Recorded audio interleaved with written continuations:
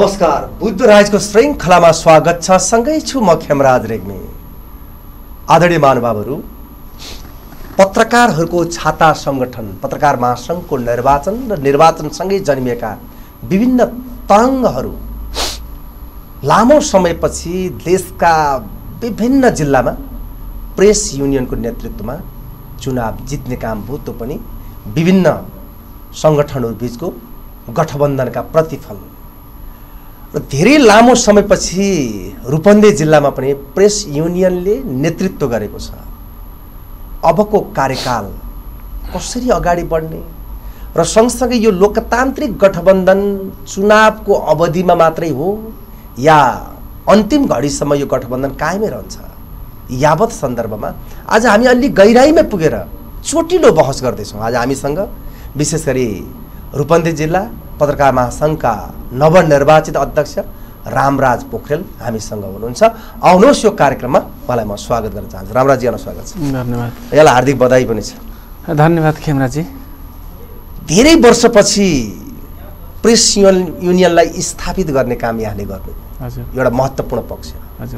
अब रामराज एउटा निडर निश्चल र निष्कपट भावले काम गर्ने व्यक्ति हो भनेर चिनिन्छ। मैले बुझ्दाखेरि है खास गरी। हजुर। तपाईँले यो आफ्नो कार्यकाललाई अब कसरी लाने सोच बनाउनु भएको छ? एउटा कुनै मापदण्ड र मेकानिजम त तयार पक्का पनि गर्नुभयो होला। म त्यहीँबाट सुरुवात गर्छु खास गरी। खेमराजी अब यहाँलाई धन्यवाद। खास गरी मलाई यो स्टुडियोमा बोलाएर मेरा केही कुराहरू राख्ने अवसर दिनुभएको छ। यहाँले भनिहाल्नुभयो अब पत्रकार महासङ्घलाई कसरी अगाडि बढाउने भन्ने कुरामा चाहिँ यहाँको जुन प्रश्न छ। पत्रकार महासङ्घ यो कुनै एउटा व्यक्ति विशेष र एउटा सङ्गठनको मात्रै होइन। हामीले विगतदेखि उठाउँदै आएको कुरा महासङ्घ साझा चरित्र चरित्रको संस्था हो र यो साझा चरित्रकै हुनुपर्छ भन्ने हामीले जुन आवाज उठाउँदै आएको थियौँ। त्यो आवाजलाई हामीले अझै हामीले बलियो गरी बलियो स्वरमा ठुलो आवाजमा उठाउँदै र अझै साझा चरित्रको बनाउनका लागि हामीले कति पनि कसुर चाहिँ बाँकी राख्छौँ जस्तो मलाई लाग्दैन। हामीले निर्वाचनताका पनि हामीले गठबन्धन गराएर त हामी पाँचवटा सङ्गठनहरू मिलेर लोकतान्त्रिक प्रगतिशील साझा प्यानल भनेर हामीले जसरी घोषणा गऱ्यौँ हामी त्यो निर्वाचनताका जसरी अ, हामीले साझा संस्था भनेर घोषणा गरेका थियौँ। आज पनि हामीले सबै सास त्यसमा पनि अझै ती सङ्गठनमा त्यहाँ हामी त्यो हाम्रो प्यानलमा हाम्रो समूहमा नभएका साथीहरूको पनि अब पत्रकार महासङ्घ साझा हो है भन्ने एङ्गलबाटै हामी अगाडि बढ्ने हामी सोच बनाएका छौँ। र यो सोच भनेको मेरो व्यक्तिगत मात्रै सोच होइन हामी साझा टिम हो। पत्रकार महासङ्घ भनेको सिङ्गल व्यक्तिको होइन। यो मेरो म नेतृत्वमा भले म नेतृत्वमा आए पनि हाम्रो टिम छ। त्यो टिम सबैको साझा हो। अब हामी निर्वाचन लड्दासम्म एउटा समूह बनाएर लडे पनि अब हामी सबै पक्ष सबै वर्ग सबै विचार समूहको चाहिँ त्यो संस्था हो। त्यसलाई चाहिँ हामीले साझाकै रूपमा लानुपर्छ र हाम्रा खास गरी मैले मसँग जुन साथीहरू चुनाव लड्नु हो उहाँहरूले आफूलाई पराजित महसुस नगर्ने गरी पराजित भएको महसुस नगर्ने गरी उहाँलाई मैले अहिले पनि भन्छु ऊ ती निर्वाचित हुन नसकेका साथीहरू उहाँहरू पराजित होइन उहाँहरू उपविजेता हो। त्यो उपविजेताहरूका पनि उहाँहरूले उठाएका एजेन्डाहरू जुन पत्रकारका हकितमै उहाँहरूले पनि उठाउनु भएको थियो कुराहरू र हामीले पनि पत्रकारकै हकितका लागि नै हामीले इस्युहरू उठाएको थियौँ। त्यस कारणले उहाँका इस्यु र हाम्रा इस्यु लगभग लगभग धेरै इस्यु मिल्दा इस्युहरू छन्। त्यस कारणले हामी ती सबै एजेन्डाहरूलाई उहाँहरू जुन उपविजेता हुनुभयो साथीहरू उहाँहरूका पनि एजेन्डाहरूलाई हामीले अगाडि बढाएर सबै कुरा चाहिँ एउटा महासङ्घलाई महासङ्घकै रूपमा साझा चरित्रको महासङ्घ बनाउने हाम्रो अभियानमा हामी अगाडि बढ्छौँ। र मलाई लाग्छ मेरो यो तिन वर्ष कार्यकालमा पत्रकार महासङ्घमा कुनै एउटा विचार समूहको मात्रै त्यहाँ प्रतित्व भयो भन्ने चाहिँ आवास दिने चाहिँ मेरो कुनै कुरा हुँदैन। मैले चाहिँ सबैको साझा हो है महासङ्घ ठिक छ ठिक छ। तपाईँको कुरा तपाईँको तर्क आफ्नो ठाउँमा छँदैछ। हजुर। हामीले बुझ्दाखेरि। हजुर। तपाईँहरू हिजो लोकतान्त्रिक गठबन्धन भनेर जसरी मिल्नुभयो नि हजुर। तर तपाईँ यहाँनिर के जोड्नु भएको छ भने पत्रकार महासङ्घ कुनै राजनीतिक गन्धबाट चाहिँ मुक्त गराउने मुक्त गराउने त्यो त्यो आकान्त हुँदैन भनेर तपाईँले भन्नुभएको छ। यदि तपाईँले भने तापनि हजुर। त्यो गन्ध रहन्न भनेर हामीले स्वीकार्नेवाला छैनौँ। तर तपाईँहरू जसरी गठबन्धनमा जोडिएर चुनावी मैदानमा उत्रनुभयो चुनाव जित्नुभयो पनि यो लोकतान्त्रिक गठबन्धन चुनावका लागि मात्र थियो? या तपाईँहरूका मन सधैँभरि त्यही ढङ्गबाट त्यही गतिमा अगाडि बढेर अन्तिम घडीसम्म मिलेर जान्छ? होइन? हामी अब यहाँले गठबन्धनको कुरा गरिरहँदा हामी गठबन्धन त यस्तो छ अब हामी सामान्यतः एउटा एजेन्डामा हामी मिल्यौँ। होइन सधैँ ती- ती एजेन्डा मिलिरहनु पर्छ भन्ने पनि छैन र सधैँ मिल्छौँ भन्ने पनि छैन मलाई लाग्छ यो हाम्रो यो यो गठबन्धन छ कालान्तरसम्म चल जान्छ किनभने कालान्तर भनेको मेरो कार्यकाल पुरै र त्यसपछि नै हामी यसलाई चाहिँ मैले भने नि साझा चरित्रको बनाउने नाममा हाम्रो यो गठबन्धन जारी रहन्छ भनेको तपाईँलाई पनि एक दुईवटा सङ्गठनका साथीहरू बाहिर रहे तापनि ती साथीहरू पनि आउनुहुन्छ हाम्रै गठबन्धनमा। किन हामी त्यो मूल प्रवाह भनेकै हामी हो कि? त्यस कारणले यो मूल प्रवाह जुन छ पत्रकारहरूको खास गरी मूल प्रवाहमा भएका साथीहरू सबै यही संस्थामा यो जुन गठबन्धनमा आबद्ध भएका कारणले मलाई लाग्छ यो तत्काल हामीले कुनै इस्युमा चाहिँ के अरे चुनावी इस्युमा चाहिँ एजेन्डामा हामी चाहिँ गठबन्धन गऱ्यौँ। तर मलाई लाग्छ त्यो गठबन्धन हाम्रो लामो समयसम्म दीर्घकालीनसम्म चाहिँ रहिरहन्छ। र यहाँले भने जस्तै साझा चरित्रको बनाउने कुरामा त के का लागि साझा चरित्र नबनाउने त? म रामराज पोखरेल हिजो कुनै विचार म कुनै विचार त मेरो आफ्नो ठाउँमा छ। त्यो चुनावको बेलामा प्रकट त हुन्छ। तर हिजो पच्चिस गतेसम्म जुन दिन मैले मतदान गर्दासम्म म चाहिँ कुनै विचार समूहको नेता थिएँ। तर आज म सबै विचार समूहको नेता भएको छु। त्यस कारणले आज मैले सबै पत्रकार साथीहरूको विचारलाई प्रतिनिधित्व गर्छु सबै साथीहरूको प्रतिनिधित्व गर्छु सबै पत्रकारको प्रतिनिधित्व गर्छु। त्यस कारणले आज मैले विचारको कुरा गर्ने होइन कि निश्चित एउटा पार्टीको सङ्गठनको मात्रै विचारको कुरा गर्ने होइन। आज म साझा चरित्रको मैले महासङ्घ कसरी बनाउनु पर्छ भनेर मेरो मानसिकतामा साझा चरित्रको बाहेक अरू मेरो दिमागमा हुनु हुँदैन र हुन पनि हुँदैन। त्यो कुरा चाहिँ म क्लियर कुरा गम्भीर प्रश्न छ के रामराजी? वास्तवमा पत्रकारिता भनेको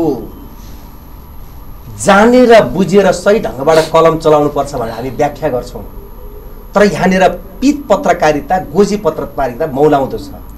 कसरी दक्षता अभिवृद्धि गर्ने भन्ने कार्य कार्यमा मानिसहरू क्रियाशील हुन सकेनन्? मात्रै हाहुको भरमा मानिसहरू पछाडि दौडिरहेका छन्। यस्तो परिपाटीलाई अन्त्य गरेर एउटा कुनै पनि पत्रकारितामा लाग्ने व्यक्तिको समुन्नत जीवनका निम्ति अब तपाईँले के खेल्नुहुन्छ भूमिका? अब तपाईँले जुन पित पत्रकारिताको कुरा गर्नुभयो नि त्यो सबैलाई एकै ठाउँ नराख्नुहोस्। मेरो पहिलो चाहिँ के कुरा के हो भने सबै पत्रकारलाई एउटै डालोमा राखेर हिसाब नगरौँ होइन?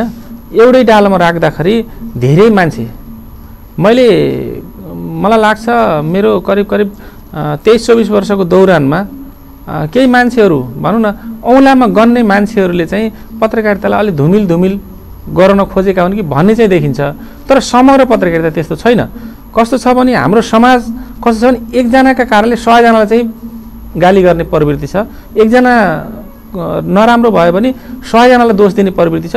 त्यो चाहिँ एकजनालाई हामीले सकेसम्म एउटा प्रवृत्ति एउटा प्रवृत्ति गलत आयो भने सबै सम्पूर्ण चाहिँ त्यो पेसालाई व्यवसायलाई नै त्यसले चाहिँ इङ्गित गर्नु चाहिँ हुन्- हुन्छ जस्तो मलाई लाग्दैन। त्यस कारणले हामीले एउटा कुरा एउटा व्यक्तिलाई एउटा संस्थालाई हेर्दै हेरेर त्यो चाहिँ समग्र पत्रकारिताको मूल्याङ्कन गर्नु चाहिँ अलिकति अल्प ज्ञान हुन्छ कि जस्तो मलाई लाग्छ। जस्तै तपाईँले यो भनिरहँदाखेरि अब रामराज भनेको सबैको हो। साझा चौतारी जस्तै हो। जसले गलत ढङ्गबाट पत्रकारितामा कलम चलाउँछ नि तिनलाई पनि सही बाटोमा हिँड त्यो त्यो भनेर हाम्रो ट्याग दिने बाटो त्यो त। हाम्रो खास गरी हाम्रो उद्देश्य नै त्यही हो।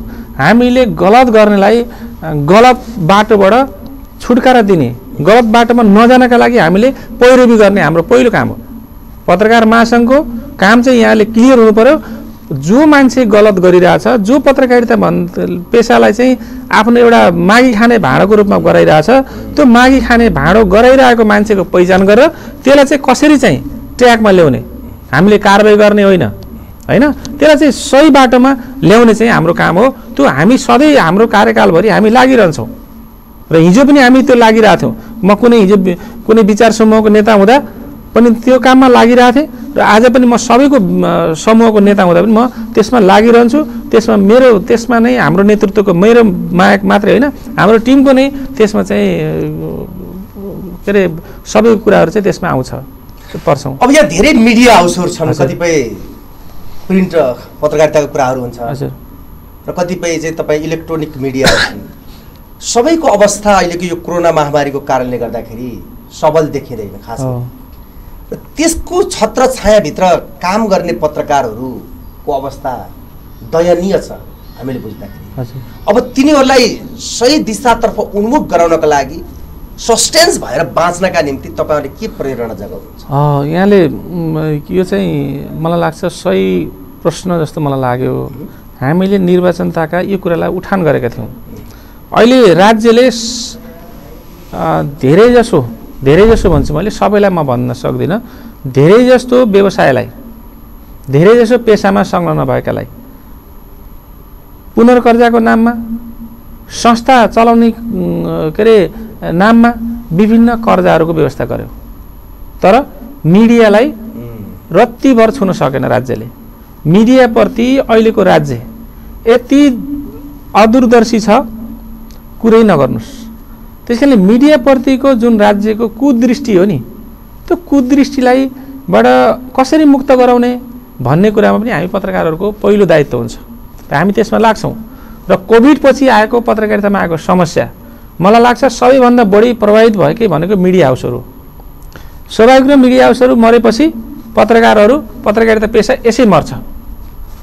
जब एउटा मिडिया हाउस बन्द भयो अथवा राम्रोसँग चल्न सकेन भने त्यसको संरक्षणमा बाँचेका पत्रकारहरूको त स्वाभाविक रूपमा पलायन हुन्छन् त्यसकारणले अब त्यो मिडिया हाउसहरूलाई फेरि रि गर्नका लागि रि बचाउनका लागि हामीले गर्न सक्ने के हुन् त उपायहरू भनेर हामीले एउटा पहल गर्ने चाहिँ हामीले प्लान बनाएका छौँ। अब कोभिड पछिको समस्यालाई जुन्नका लागि मिडिया हाउसहरूले के गर्नुपर्छ? मिडिया हाउसहरूको आजको अवस्था के छ? भन्ने विषयमा पनि हामीले चिन्तित छौँ। त्यसमा चाहिँ एउटा प्लान बनाएर हामी अगाडि बढ्नेछौँ।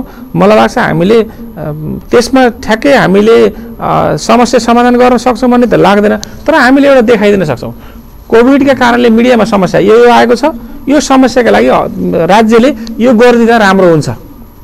र मिडिया हाउसहरूले पनि यो गर्दा राम्रो हुन्छ। यहाँ राज्यलाई मात्रै दोष दिएर भएन कि? हामीले मिडिया हाउसहरूका पनि समस्याहरू छन् मिडिया सञ्चालकहरूका पनि के के समस्याहरू हुन सक्छन् त्यो समस्याबाट यो निराकरण गर्नका लागि अथवा नियन्त्रण गर्नका लागि यो यो उपायहरू हुन सक्छन् भनेर हामीले चाहिँ उपायहरूको चाहिँ खोजी गरिदिन सक्छौँ। त्यसरी चाहिँ हामी अगाडि बढ्ने प्लानमा छौँ। जस्तै अब दक्षता अभिवृद्धिका लागि त्यस्तो तालिमहरू छ। हामीले- सशक्त रूपमा कलम चलाउनु बनाउने हो कि? भर्खरै हामी यहाँले भन्नुभयो यहाँले भने जस्तै भर्खर हिजो मात्रै हामीले पदस्थापना गऱ्यौँ। पदस्थापना भएको छ हाम्रो। र हामी अब हामीले नियमित मिटिङ मार्फत विभिन्न छलफल मार्फत अग्रजहरूको सल्लाह अनुसार नै हामी अगाडि बढ्छौँ। तपाईँले लाग्ला रूपन्देही पत्रकार महासङ्घ सिङ्गल अध्यक्षात्मक प्रणाली त हो नै तर सिङ्गल अध्यक्षले मात्रै कार्यसमितिले मात्रै निर्णय गरेर अगाडि बढ्छैन। सबै यहाँका अग्रजहरूको यहाँका चाहिँ नयाँ जेनेरेसनहरूको सबैको राय सल्लाह सुझावहरू अनुसार नै हामी अगाडि बढ्छौँ। त्यस कारणले के के गर्नुपर्छ?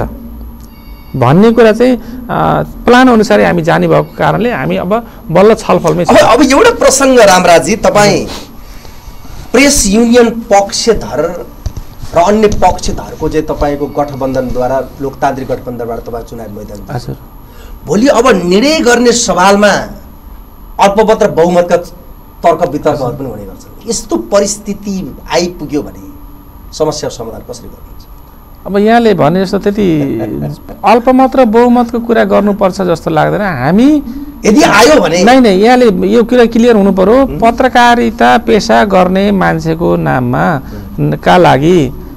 अर्को साथीले उठाएको एजेन्डा र मैले उठाएको एजेन्डा एउटै हुन्छ। यो पेसाका लागि। भले शब्द फरक पर्ला।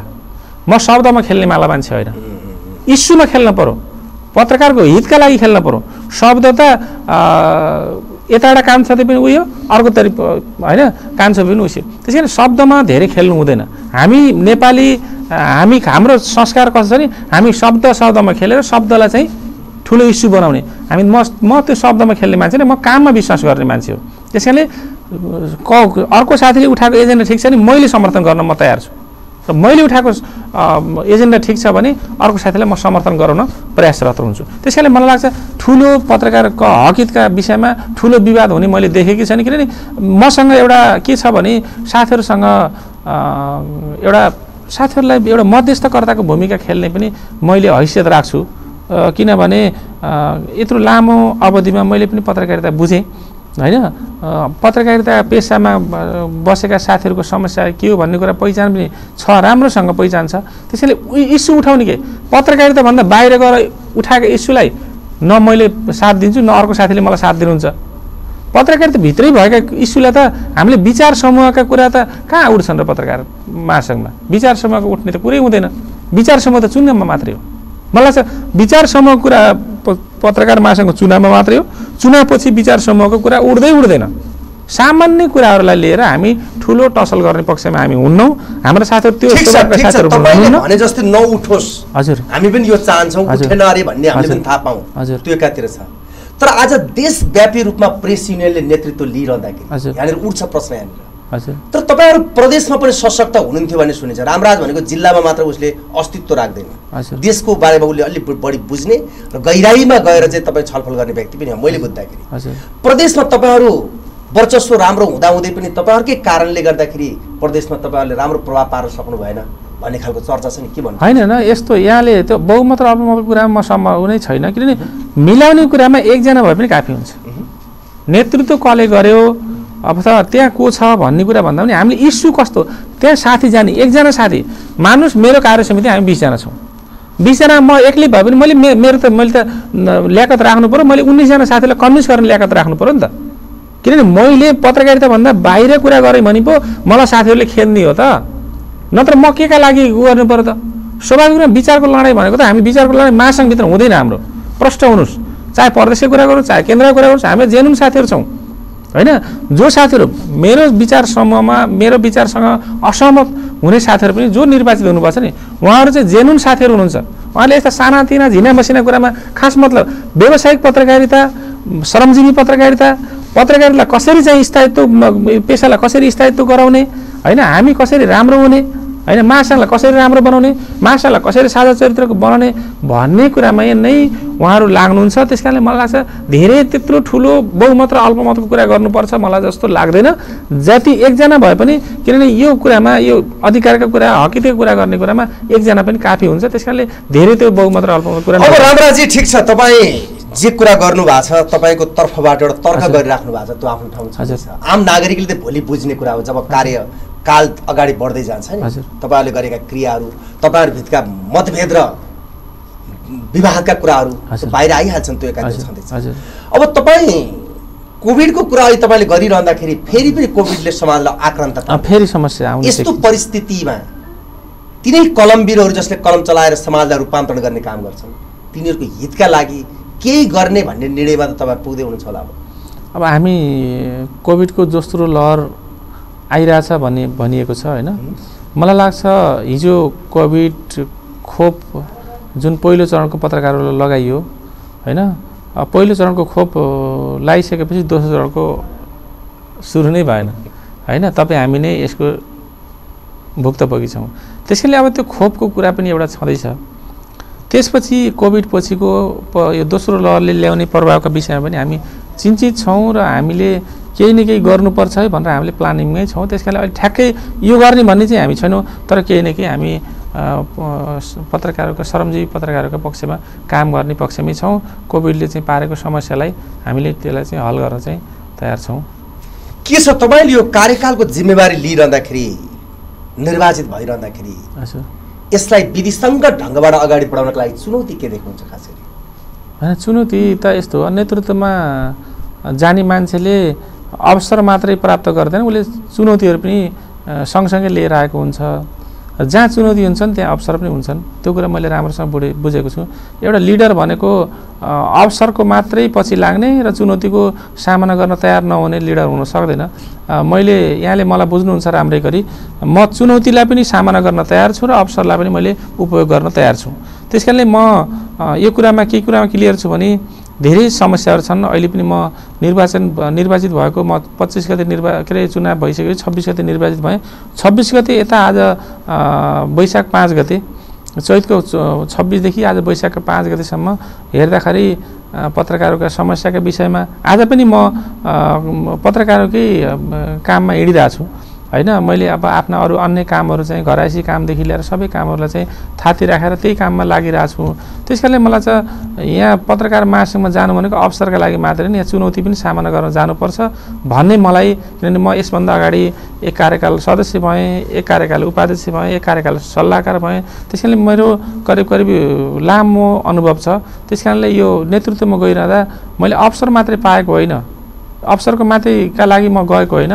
मैले साथीहरूका समस्याहरूलाई पहिचान गरेर साथीहरूका समस्याहरूलाई पहिचान गरेर अगाडि कसरी बढ्ने अब सहजीकरण कसरी गर्ने चे चुनौतीहरूलाई कसरी समाधान गर्ने भन्ने कुरामा नै हामी लाग्छौँ र चुनौतीहरू त छन् थुप्रै चुनौतीहरू छन्। श्रमजीवी पत्रकारका चुनौती छन् तपाईँले कोभिडका कुराहरूको चुनौती छन् हाम्रा प्रोफेसनलिजमका कुराहरू छन् होइन? अब थुप्रै थुप्रै कुराहरू छन् त्यस कारणले हामी त्यो जहाँ अवसर चुनौती हुन्छ त्यहाँ अवसर हुन्छ भन्ने कुरा मैले राम्रोसँग यो। न्यूनतम पारिश्रमिकका कुराहरू छन् नि रामराजी कतिपय मिडिया हाउसहरू त्यसलाई लागू गरेका छैनन् हजुर। लागू गर्न पनि चाहन्न हजुर। तपाईँहरू यस विषयमा कतिको कडाइका साथ प्रस्तुत पहिलो कुरा त यो मिडिया के अरे नेपाल सरकारले न्यूनतम पारिश्रमिक भनेर निर्धारण गर्छ। यो नै गलत छ कि? कति हो न्यूनतम? एउटा पत्रकारले एउटा श्रमजीवी पत्रकारले उसको जान पाल्नका लागि उसको छाक टार्नका लागि कति चाहिन्छ? सरकारले तोकेको न्यूनतम भनेको न्यूनतमै छ के? आज एउटा प्राइभेट संस्थामा काम गर्ने मान्छेले त्यो न्यूनतमबाट के अरे न्यूनतम तलब खाएर यो आजको महँगी थेग्ने पक्षमा पटक्कै छैन। त्यस कारणले मलाई लाग्छ यो न्यूनतम भनेको सरकारको देखाउने छारो मात्रै हो। त्यस कारणले हाम्रा सञ्चारगिरीहरूले कति सञ्चारगिरीहरू कस्ता छन् भने न्यूनतमभन्दा धेरै पारिश्रमिक दिएका पनि छन्। कति त्यति पनि दिन नसकेका अब पनि छन्। नसकेका भन्ने कति नियत बसी नदिएका पनि छन्। कति चाहिँ कस्तो छ भने दिन नसकेकाहरू छन्। हो यस्ताको वर्गीकरण गरेर चाहिँ हामीले त्यसलाई चाहिँ अब पहिचान चाहिँ पहिलो कुरा हामीले पहिचान गर्नु पऱ्यो त्यस कारणले पहिचान गर्ने पक्षमा हामी छौँ। यसलाई पहल अब गर्छौँ जस्तै तपाईँ प्रेस युनियनले धेरै समयपछि नेतृत्व लिएको छ हामी यद्यपि भनिरहँदाखेरि यो वाक्यलाई हामी दोहोऱ्याइ पनि रहेका छौँ। के छ तपाईँभन्दा अगाडिको नेतृत्वहरूले? के काम गरिदिएको भएदेखि तपाईँलाई सजिलो हुन्थ्यो अहिले आएर? होइन उहाँहरूले पनि काम चाहिँ नगरेको होइन होइन काम चाहिँ स्वाभाविक रूपमा आफूले आफ्नो मानस के अरे दिमागले भेटेसम्म स्वाभाविक रूपमा कसैले काम नगरौँ भन्ने हुँदैन। भलै कति गर्ने भन्ने कुरा हो। त्यस कारणले यसभन्दा अगाडिका साथीहरूले पनि गर्नुभएको छ। उहाँहरूले राम्रा काम गरेर गर्नुभएको छ ती राम्रा कामहरूको हामीले अनुसरण गर्नै पर्छ। गरेरै अगाडि बढ्छौँ। कतिपयको उहाँहरूले अब भुलचुक त्यस्तो कहिलेकाहीँ उहाँहरूले केही काम गर्न नभ्याउनु भएको अथवा गर्न नसक्नु भएको रहेछ भने त्यसलाई हामीले अगाडि बढ्छौँ छोडे उहाँहरूले नराम्रो गतिविधि गरेको भए छोडेर जान्छौँ। राम्रो गतिविधि भए हामीले अगाडि बढेर जान्छौँ। त्यस तर कारणले आम नागरिकले के बुझेका छन् पत्रकार के बुझेका छन् रामराजले एउटा नयाँ अध्याय थप्छ भनेर बुझिरहेका छन्। अब अपेक्षा गर्ने? खास यहाँनिर। खेमराजी अब यहाँले भन्नुभयो नि अब यहाँले जुन शब्द प्रयोग गर्नुभयो त्यो शब्द मेरो लागि अलिक अजिलो हुन्छ जस्तो लाग्छ होइन? थप्न मैले व्यक्तिले केही थप्ने पनि होइन। म व्यक्ति केही पनि होइन होइन? स्वाभाविक रूपमा एउटा नेतृत्वमा गएँ होइन? सबै साथीहरू लाग्नुभयो मलाई नेतृत्वमा पठाउनु भयो म प्रति जुन साथीहरूले आशा भरोसा विश्वास गर्नुभएको छ म उहाँहरूप्रति ऋणी नै छु। होइन?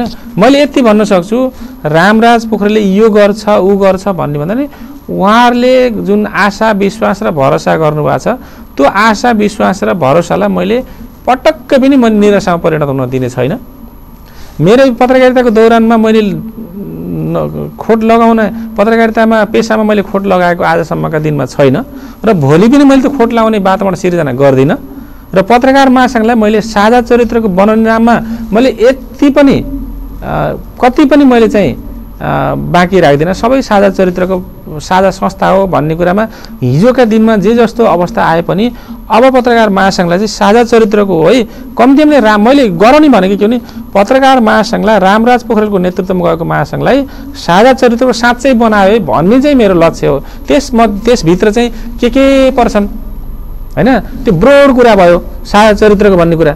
होइन? त्यसभित्र त साना साना साना साना कुराहरू छन्। त्यस कारणले मैले लेकिन हा- मेरो परीक्षा चाहिँ सुरु भइसकेको छ। अब परीक्षामा मैले कति नम्बर ल्याउने? जस्ट पास मात्रै हुने कि? होइन? फर्स्ट डिभिजन पास हुने कि? सेकेन्ड डिभिजन पास हुने कि? अथवा डिस्टिङसनै ल्याउने कि? अथवा जिपिए कति ल्याउने? जिपिए फोरै ल्याउने कि? अथवा प्लस ए प्लस ल्याउने कि? बी प्लस ल्याउने कि? अथवा के ल्याउने? त्यो चाहिँ अब मेरो गतिविधि हाम्रो नेतृत्व मेरो भन्दैन म म मैले जहिले पनि मेरो भन्दा हाम्रो गतिविधिले अ, देखाउने छ होइन?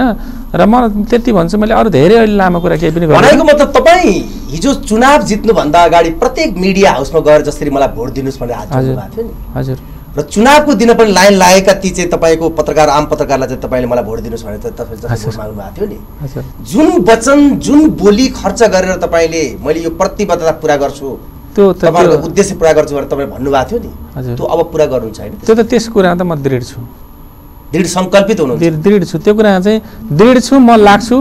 होइन मेरो नेतृत्व लाग्छ हामी सबै लाग्छौँ। किनभने हामी अधिकांश साथीहरू चाहिँ त्यही हामी जुन ऊ समूह थियौँ त्यही समूहबाट आएका छौँ। त्यस कारण हामी त्यो कुरामा त दृढ छौँ। त्यस कुरामा त हामी चुक्दैनौँ। मलाई लाग्छ हामी भले हामी केही कुराहरू सानातिना कुराहरू नसकौँला अथवा केही गरौँला तर हामीले बोलेका कुरा चाहिँ तिन वर्षमा। अब भोलि समस्या अब अघिल्लो कार्यकालका साथीहरूलाई के समस्या आयो एक वर्ष कोभिडले गर्दा साथीहरूले यस्तो नराम्रो प्रभाव पार्यो होइन? कोभिडको कारणले केही न केही प्रभावित पर्यो त्यस्ता समस्या आएनन् भने हामी चाहिँ मलाई लाग्छ हामीले निरन्तर काम गर्न पायौँ भने हामीले यी हामीले जाहेर गरेका प्रतिबद्धता चाहिँ दृढतापूर्वक हामीले कार्यान्वयन गर्छौँ भन्ने चाहिँ मलाई लाग्छ। अब करिब अन्त्यमा छौँ। रामराजी यो तपाईँको अन्तर्वार्ता हजुर। अन्तिम घडीसम्म पनि यसले महत्त्व राख्छ। किनकि यो तपाईँको प्रमाण हो संविधान जस्तै। मान्नुहोस्। तपाईँ आज बोलेका कुराहरू त्यति बेला पनि आम नागरिकले अथवा पत्रकारिता जगतले। मूल्याङ्कन गर्छ यति बेला बुद्ध सामुदायिक टेलिभिजन टिभीको माध्यमबाट र सामाजिक सञ्जालको माध्यमबाट हामीलाई थुप्रै महानुभावले हेरिरहेका छौँ निचोडमा तपाईँ के भन्न चाहनुहुन्छ पहिलो कुरा त मैले तपाईँ र तपाईँको टिम बुद्ध टेलिभिजनलाई धन्यवाद दिन चाहन्छु। म निर्वाचित भइसकेपछि यहाँहरूले महत्त्व दिएर खास गरी हाम्रो म पत्रकारिता पेसा र हाम्रो यो निर्वाचन र मलाई र मेरो नेतृत्वलाई जुन विश्वास गरेर एउटा चाहिँ महत्त्व दिएर चाहिँ जुन यहाँ बोलाउनु भयो यहाँहरूलाई म धेरै धेरै धन्यवाद दिन चाहन्छु। यहाँ टिम सबैलाई यहाँ लगायत सबैलाई र अर्को कुरा के हो त भन्दा मैले अघि पनि भने फेरि पनि म दोहोऱ्याउन चाहन्छु। धेरै लामो कुरा अहिले हामीले बल्ल हामी परीक्षाको स्टार्टिङ गरेका छौँ। बल्ल परीक्षा हलमा हामी पसेका छौँ। परीक्षा हलमा पसिसकेपछि कति नम्बर ल्याउने भनेको हामीले कस्तो काम गरेर देखाउने भन्ने कुरा अब हाम्रो स्टार्टिङ मात्रै भएको छ। त्यस कारणले मलाई लाग्छ हामीले निर्वाचनताका गरेका प्रतिबद्धताहरूलाई दृढतापूर्वक कार्यान्वयन गर्ने कुरामा हाम्रो टिम लाग्छ। र म त्यसमा दृढ सङ्कल्पित छु। र यसमा चाहिँ हाम्रा पत्रकार साथीहरूले चाहिँ सपोर्ट गर्नुहुन्छ र हिजो जुन चुनावमा जसरी मलाई चाहिँ अत्याधिक मत दिएर होइन? अब अत्याधिक मत दिएर जसरी मलाई सपोर्ट गर्नुभयो मलाई चाहिँ आशा गर्नुभयो मेरो अग्रजहरूले जुन आशा गर्नुभयो विश्वास गर्नुभयो मेरो चाहिँ म सँगैका सहकर्मी साथीहरूले मभन्दा जुनियर साथीहरूले जसरी चाहिँ मलाई विश्वास गर्नुभयो रामराज पोखरेलप्रतिको जुन विश्वास हो त्यो विश्वासलाई चाहिँ मैले घात चाहिँ मेरो नेतृत्वले गर्दैन। म त्यो कुरामा चाहिँ दृढ सङ्कल्पित छु। मैले मेरो तिन वर्षे टाइम सबै उहाँहरूप्रति नै उहाँहरूकै लागि समर्पित गर्छु भन्ने चाहिँ मलाई लाग्छ। महत्त्वपूर्ण समय दिनुभयो यहाँलाई म धन्यवाद दिन चाहन्छु र सँगसँगै यहाँको कार्यकालमा काम गरिरहँदाखेरि। वाह रामराज भन्ने वातावरण सिर्जना गर्नुहोला। यो समय र संवादको लागि यहाँलाई म धन्यवाद। हस् यहाँलाई पनि धेरै धेरै धन्यवाद। हस्। आदरणीय दर्शक महानुभावहरू अहिले हामीले कुराकानी गऱ्यौँ पत्रकार महासङ्घ रूपन्देहीका नवनिर्वाचित अध्यक्ष रामराज पोखरेलसँग। अबको कार्यकाल कसरी बित्छ? साँच्चै आम पत्रकारहरू व्यावसायिक ढङ्गबाट अगाडि बढ्ने वातावरण बन्छ बन्दैन खोज पत्रकारितामा कतिको दृष्टि पुग्ला यावत सन्दर्भमा आज हामीले कुराकानी गऱ्यौँ उहाँसँगको यो कुराकानीसँगै प्रविधिमा रहेर साथ दिने मित्र नरेश अधिकारीलाई धन्यवाद दिँदै म पनि आगे चाहन्छु। नमस्कार।